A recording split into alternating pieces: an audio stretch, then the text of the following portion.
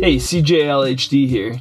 My name's Casey, and I am about to impart on a journey up to the Upper Peninsula in the middle of winter here. Uh, a lot of friends recently have been asking me how electric vehicles handle in the winter, so I thought why not uh, do a little video vlog and kind of showcase the the adventure. So we're gonna go up there for Michigan Tech's Winter Carnival and do a little skiing at Mount Bohemia and who knows what else. So come along with me and let's do this.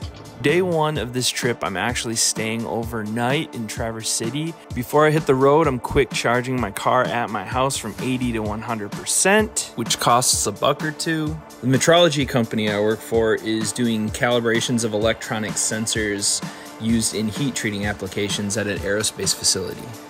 The company that I'm working for pays my per diem, and the hotel that I'm staying at just happens to have a Tesla overnight charger. So basically, recouping all of my energy costs for free while driving up here.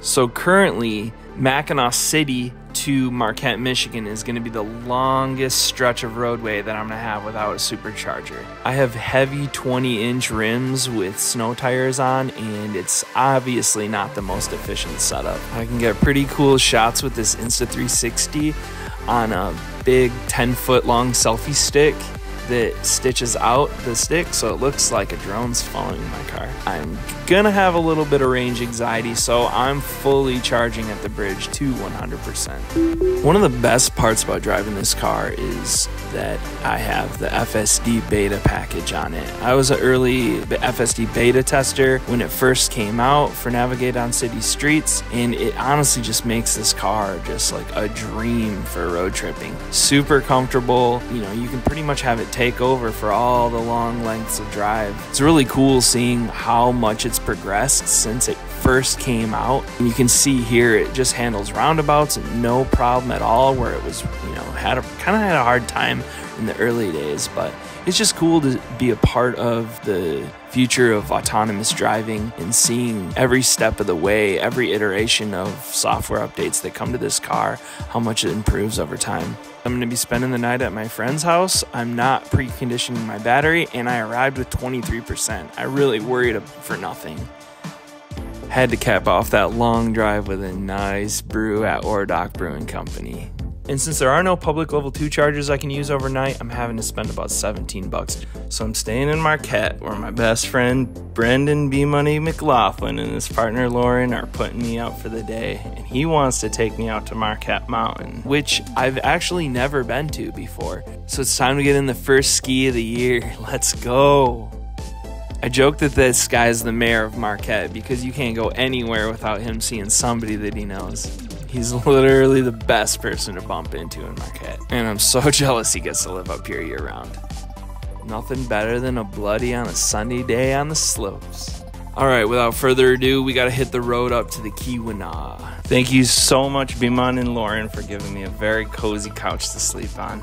We're going to charge up the car again at the supercharger and let it rip. There's something magical about getting into the copper country. We're pulling in late at night. The very first thing you're greeted to is the broom ball tournaments. We're here at Michigan Tech's all nighter, day one of the Winter Carnival. Broomball is just a crazy sport. It's obviously kind of like hockey, but you do not have skates on. You are wearing boots on sheer slick ice. And check it out, people go absolutely nuts over it. It's just an incredible way as a student to join an intramural sport out here and just relax from the hardships of your classes and just unwind. As we progress throughout the night, all over campus, people are just drinking and having a good time, partying, dancing nonstop, eating pancakes to stay warm until the sun comes up. And students everywhere are building ice sculptures all over campus. It's just so awesome to see. Being that I'm in my mid 30s now, I just can't keep up with these kids, and I gotta call her a night early. It was a long day. In the morning, I was greeted to some Pigeon Hill and some biscuits and gravy from none other than soon to be Dr. John Scab. This guy's still up here working on his PhD in chemical engineering right now. He was one of the best friends I made when I was up here, and he is one hell of a fishing buddy. We went back to campus to check out some more broomball and obviously check out some of the ice sculptures that were made. Michigan Tech was one of the most influential moments in my life, and just every time I get to come back up here just reminds me of all the fun I had when I lived up here for three years to complete my bachelor's degree in math and physics. Oh, what a save Zamides!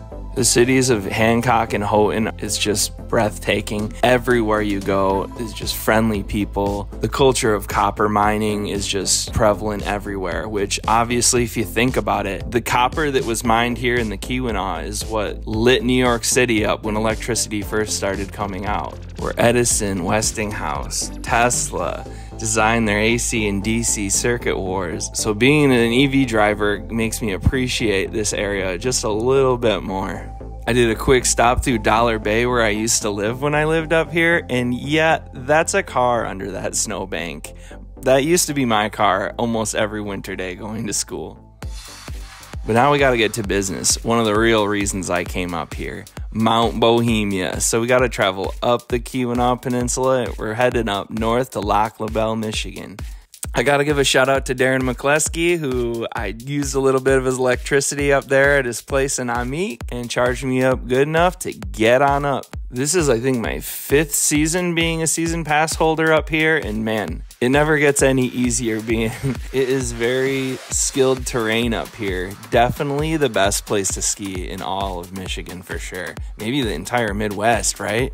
After a bunch of runs, you take a dip in their heated pool. Oh, it's perfect then back on the slopes again. I didn't even know how to ski when I first moved up to the UP, so it was awesome that Michigan Tech has free students skiing across the Portage Canal at Mount Ripley. I spent so much time there since it was on my way home every day.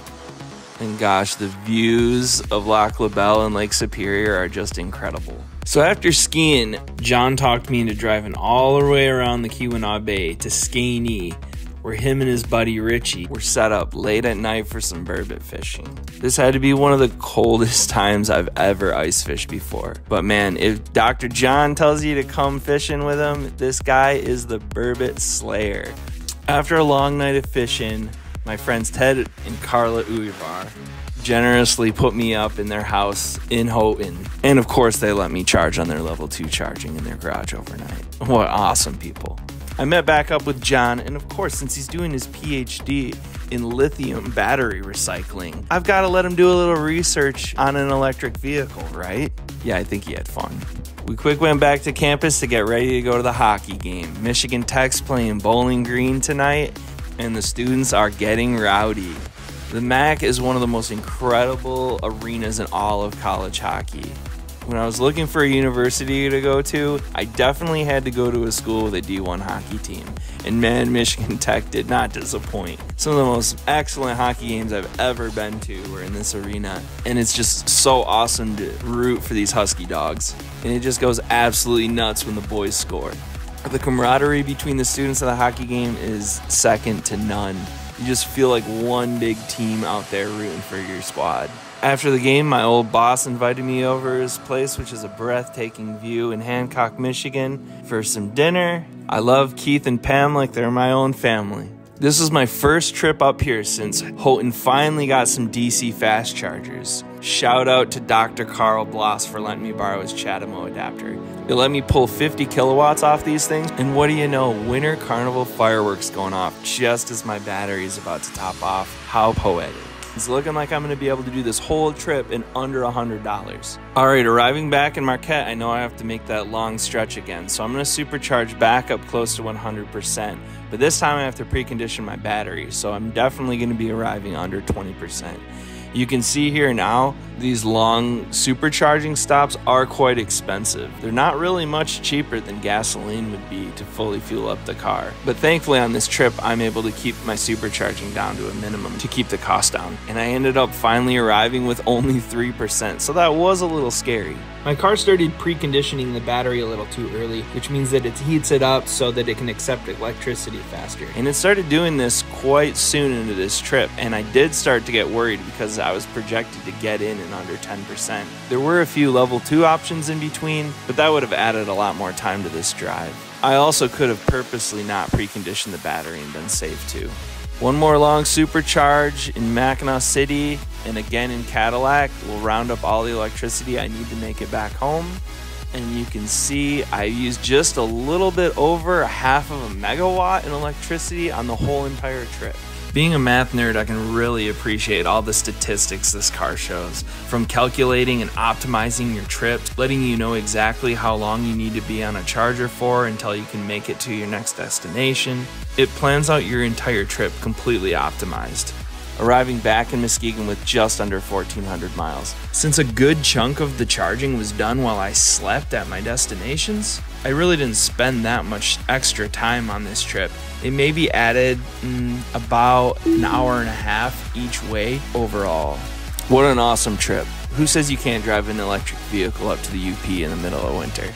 Well, hey, I really appreciate you watching this video. It's been a while since I got all artsy fartsy and put together a video vlog.